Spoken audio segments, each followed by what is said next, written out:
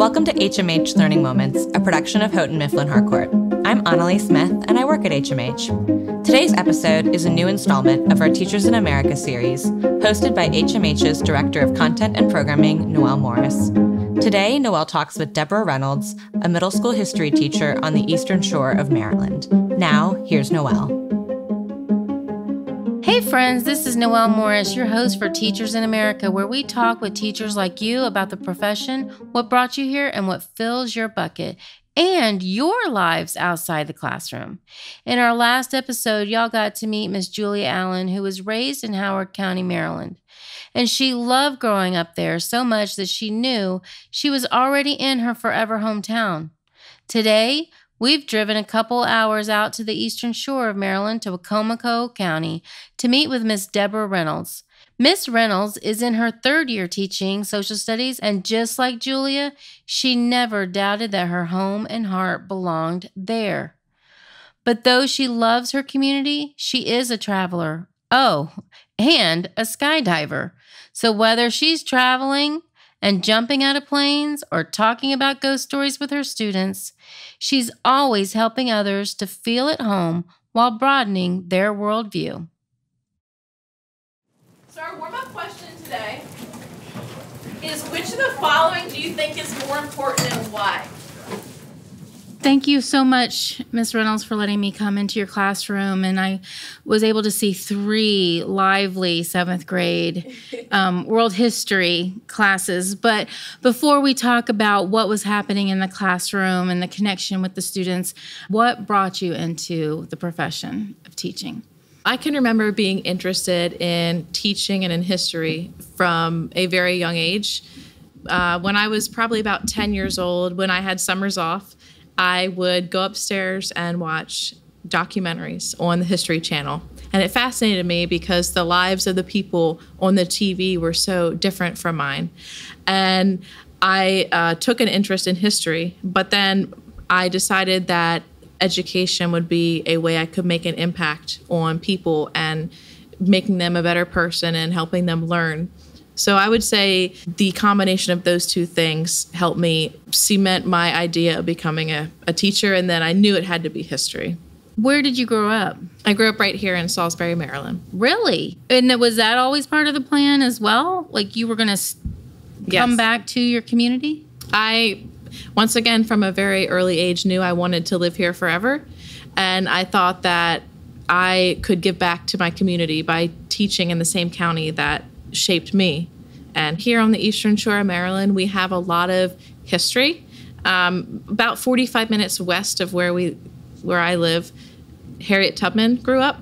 Frederick Douglass is about an hour west of where I live. So there's a lot of history right here on the Eastern Shore. And I knew that depending on which content I taught, I could delve into that and use that as a benefit to my students, maybe even go on a field trip.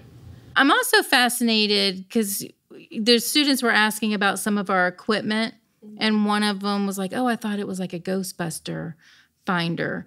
And then they all started talking like ghost stories in the building and in the town. Is that something in the community, or is that something just being a middle schooler they have made these stories? No, I think there is a recognition of possible ghost sightings around here. In something called the Pocomoke Forest, there's this story that um, it's haunted. What do you find your seventh grade students are curious about when it comes to history and other cultures? I think they're interested in just how that group of people lived, what their culture was like. Students are so surprised when they find out that, oh, they spoke this certain language, or they dress like this, or, well, why do they sacrifice people? I think students today are so focused on our culture, they don't realize that there is an entire world out there, and especially the ancient world. It's just so different from what we experience today. When you think back to being that 10 year old and knowing that you were going to go into teaching, did any other teachers inspire you? Did you have a teacher that you looked up to that also lived in this area? Yes. Um, when I was in ninth grade, so by the by this time I was pretty sure I was going to be a teacher and a, in history. My ninth grade history teacher, Renee Cox, She, from day one, made a difference in my life. She was enthusiastic. She always gave me pep talks and she knew that I wanted to become an educator and she helped me in my dream and to this day we still stay in contact and she came to my graduation and she's just been a driving force for me. When I was creating my resume for this position, she was giving me suggestions on how to word things and I don't like to be boastful so I was I didn't want to put too much fluff in there but she said, "Well, no, you've done all these things, you need to put it in there." So she's been very helpful in the entire process of graduate school, applying for jobs and now that I do have this position, I have contacted her when I needed advice for something. Wow. Mm-hmm. Is that your passion around that curriculum, or do you see yourself teaching a different grade level or a different part of history? my passion is American history, US history, but I have come to love world history. The 10 year old version of me would always watch things about the Roman Empire and ancient Egypt. There's some areas of the room that would make me think what part of American history you are fascinated by, or you have this, you know, teacher romance with this You could call particular um, area. um, and I'm curious if you just bring that out to highlight who you are, or and I also am curious if your students have picked that up. So I'm guessing you're talking about the Kennedys I that you see in I- the room.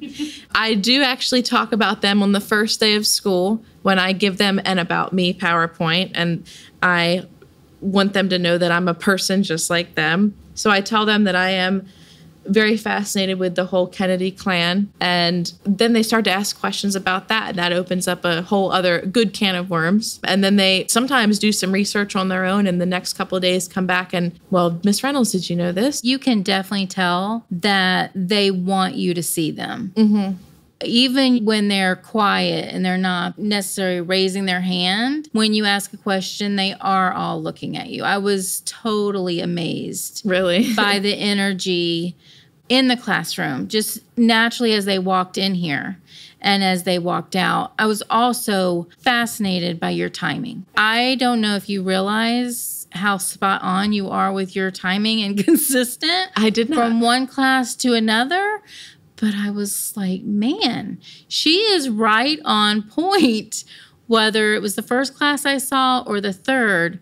And I also want to give you a shout out because I n- noticed how you were differentiating for the different classes. yes. When you think about your students and the different levels of students that you're that you're teaching, I noticed that you also have a lot of English language learners I do. in here. Can you tell me a little bit about their backgrounds and Well, they come from numerous countries Honduras, El Salvador, Sudan, even. But regardless of where they come from, they are all so happy to be here and they are so thrilled to come and get an education. And that's evident to me as their teacher because they are some of the hardest working students that I have ever taught. the most famous aqueduct builders of the ocean, Ancient. ancient area. In fact, the, the word aqueduct is derive, derive from a Latin fo- word aqua.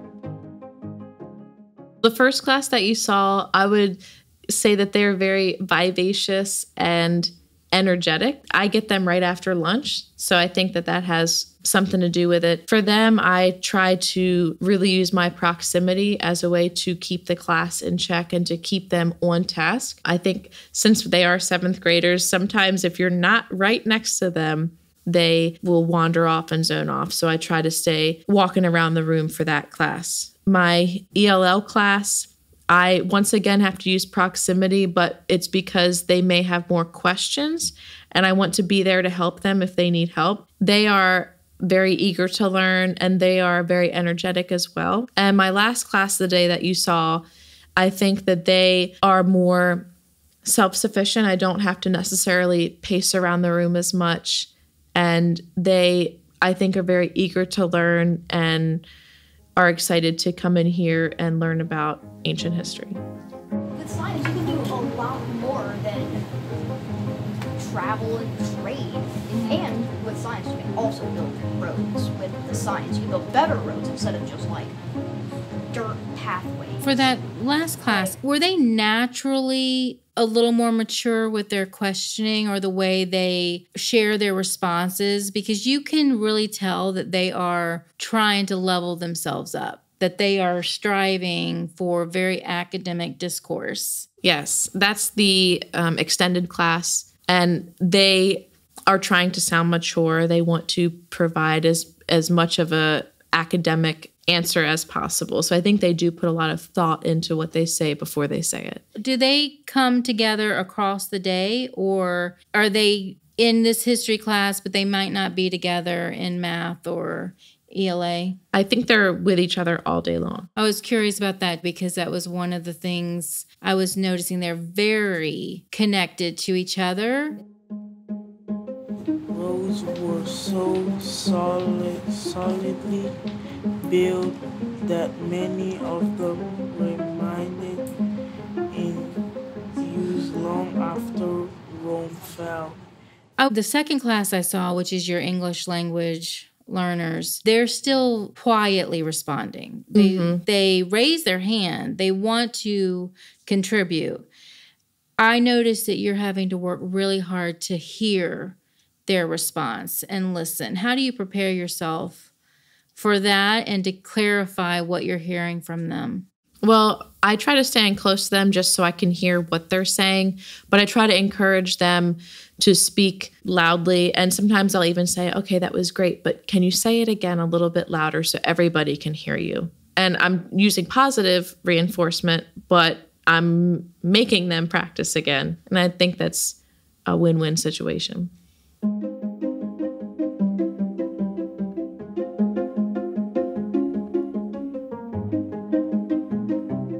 Mr. Reynolds, tell me something about you that is completely unassuming because you are very even keeled. Do you do anything spontaneous? Do you do anything that I would definitely not think that you would do?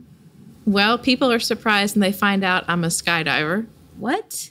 Yeah. You just go by yourself? I go tandem with the owner of a company in San Diego when I visit my dad, but yes, that's my passion outside of school is skydiving. How many times have you gone? Eight. Is it scary every time? No, it's not scary. When I decided to go skydiving, it was right around my 21st birthday. It was on my bucket list. Um, my dad said that he would actually pay for it. So I called the skydiving place in San Diego and set it up. The morning of, I was a little bit nervous because I was about to jump out of an airplane. But once the whole experience started, it felt so natural to me and so um, calming. It's very hard to explain when you're free falling. Um, it's it's like something you've never seen. It's it's out of a different world. It feels like you're in a movie. Very peaceful and calming. Is there another area in the United States that you would like to skydive? I mean, are you seeing the landscape and the terrain? Yes. In fact, when I show the movie, you can see a very clear border between the United States and Mexico. And I pause the video and show them this is San Diego, this is Tijuana.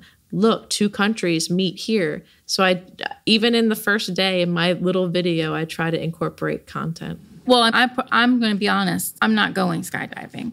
I know my heart couldn't take it, but I'm fascinated Uh-huh. by other teachers in our profession who are e- extreme sports fanatics because as I grew up in teaching and I've really thought through these 25 years, I'm so amazed at the different things and openness of teachers versus early in my teaching career, you just weren't supposed to tell everything about yourself, right? You're supposed to make a connection, but students weren't supposed to really know you would love to have purple hair, nor would I have been able to have purple hair. And it's funny how that changes because even in the 10 years I've been out of high school, I I don't remember teachers being the way that I am or teaching the way that I teach. So I think it may even be the way we're taught in college now or a generational thing. I don't know what the answer is. You said earlier this is your forever home. I really would like to know what at age 10 made you realize and that you wanted to be in this community. Well, Every summer, I would travel with my family on summer vacation. I would see different parts of the country, and it was nice, but I would always come home and have that feeling, oh, there's no place like home. Here in Salisbury, we're 30 minutes from the Atlantic Ocean. We have pretty good weather throughout the year. We have a lot of historical sites, and that is a connection that I can make with my students. And I just think that we have a lot of culture and benefits in this area. And I knew that I didn't have to move somewhere else to find something better. So, how far do you live from your childhood home? Five minutes. How many of your fellow teachers grew up in this area compared to those that have moved into the community? Believe it or not, I would say probably at least 30 or 40% of the people at my school are from here. What are some of the occupations that families have? Well, we have a big hospital here that employs thousands of people. We also have, I think, 3,000 teachers that work here in, in the school system. We have Perdue Chicken Farms that employs thousands of people. And I think just being close to the beach and close to DC and Baltimore and some big cities, it maybe is a stopping point for people and they realize that the community is worth getting to know. Do you have a day of teaching that you wish you could have back as and have a do-over? I would say a day I want to do over would probably be from my first year when I was still learning how to be a good teacher and keep students on track. I think one lesson that comes to mind is we were doing a um, lesson on European feudalism, and I tried to bring it into the current world by paralleling it to a zombie apocalypse. Well, who would be in control, who would have to do a certain job, and so on and so forth. And I had to spend so much time trying to explain the scenario that I think it lost its power. The students still, you know, passed the test and everything, but I think if I do it again this year, I will try to make some adjustments. It, I know sometimes our creativity gets in the way. We're so we see it, but getting that to that execution. And it goes so well in my head and i'm like oh they're gonna get it. It'll be so easy. They'll love it. And then i pass it out and they don't love it or they're confused at parts i didn't think they'd be confused in. And we've all had that moment where i'm like i was not expecting to be sweating. Mm-hmm. i am rel- i am sweating. I am a nervous wreck like why aren't y'all getting it yes like, this yes. is not going well um, What's a day that you would love to experience again because it was amazing? Well, this year, early on in the year, a student that I had last year came up to me and he he pulled me aside actually. He said, "Miss Reynolds, I want to apologize for something." And I was like, "Well, for what?" He said, "I'm sorry I did not try my best in your class." He said, "Every day you treated me with respect and you tried to get me to work and I just didn't care. But now I can see that you never gave up on me. And I want to thank you for that. And he said that to me at the beginning of the school day. And that just made me feel like, well, you know what? I must be doing something right. I think I am in the right profession. Maybe I really am making a difference. And that, that really stuck with me. And I'm glad because earlier in our conversation, I know you shared, like, I don't want to boast. Mm-hmm. Um, and I that's the other like teacher to teacher heart that I want to contribute and give back to our profession is that we need to hold on to those moments because we're going to ask ourselves a lot more Am I doing the right thing? Or am I making a difference? Mm-hmm. Or there's so many things that I could have done. And sometimes we don't give ourselves enough credit, mm-hmm. or we hear that someone wants to give us a compliment and I'll hear teachers say, Well, thank you, but you're amazing too. And sometimes we just need to say thank you. We're not good compliment takers. Exactly. And we need to celebrate and challenge and hold each other accountable to allowing ourselves to have those moments. Or we're in our classrooms in Salisbury, Maryland with seventh grade kids making amazing lessons come to life and not realizing that 10 years from now, 15 years from now, 25 years from now, one of these kids could be anywhere in the country remembering a lesson that you did and connecting it back and contributing to a new community.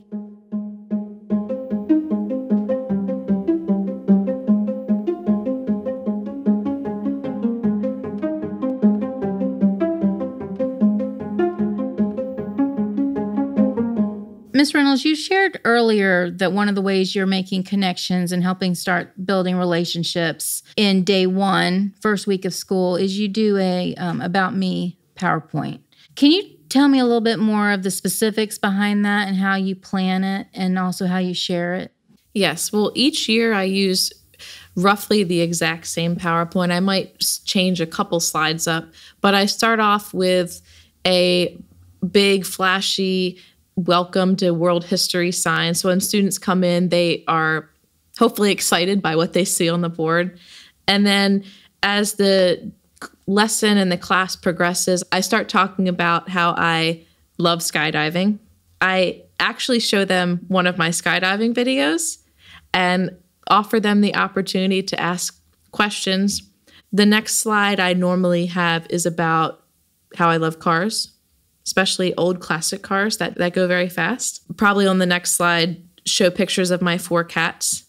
And I cram tons of pictures onto the slide, especially funny poses where their tongues are out or they're on their back or, or whatever. And it's at that point the students ask me if I'm a crazy cat lady, and I say, well, maybe. and then I ask them, okay, raise your hand if you have a cat or if you like cats. And then the last slide I show is about how I am an antique collector and I like to collect really old things. I show them some artifacts that I found and piece back together. And they're really interested that, oh, wow, you have something that is 300 years old? Well, why can't you touch it with your bare fingers? Why do you have to wear special gloves? And things along um, those lines. And I think it excites them to know that beneath the teacher in front of them is a person that has interest just like them. When you give advice to other teachers, is that just through the professional learning that you're delivering? And how did you get started with that in your district? Well, my supervisor asked me to present it at a professional development because I went to the National Conference for the Social Studies in Chicago. So when I came back, I, I did share what I learned and found valuable.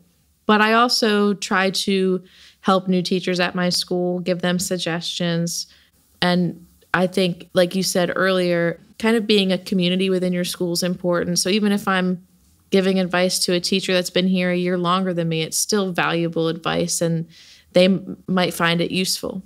What's the one thing that you wish every teacher knew? Just because you have a tough day today doesn't mean that the rest of your career is going to be tough. Everybody has challenging days, students included. You need to remember why you came into this profession and that you you can make a difference. You just have to try again the next day. Don't give up.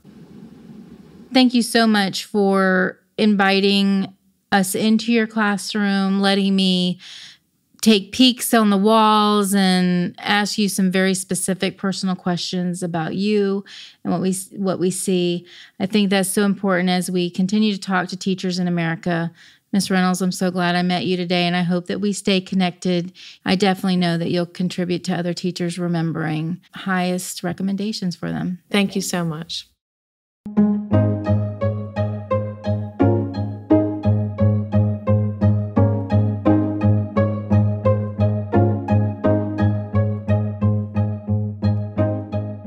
Having the opportunity to join Miss Reynolds' classroom reminded me of my first few years teaching and how phenomenal of an experience it is to meet students, get to know who they are, decorate your room.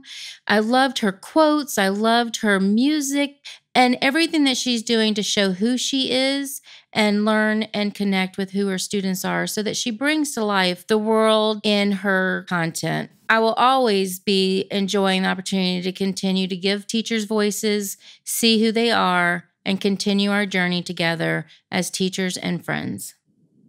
Thanks for listening. I always enjoy connecting with teachers across America. So tweet at me at first Noel M. I'm the one with the sunglasses in my profile. Teachers are cool. Join me. Keep listening. I'll see you next time. Next time, I'm sitting down with Noelle to ask her a few questions to help you, our listeners, get to know her better. Be the first to hear by subscribing on Apple Podcasts, Spotify, or wherever you're listening now. We hope you enjoyed today's show and will please rate and review and share with your network. You can join our community and read more on our Shaped blog by visiting hmhco.com slash shaped. There, you'll find a transcript of this episode and more. The link will be in the show notes. HMH Learning Moments is produced by Houghton Mifflin Harcourt, the Learning Company. Thanks again for listening.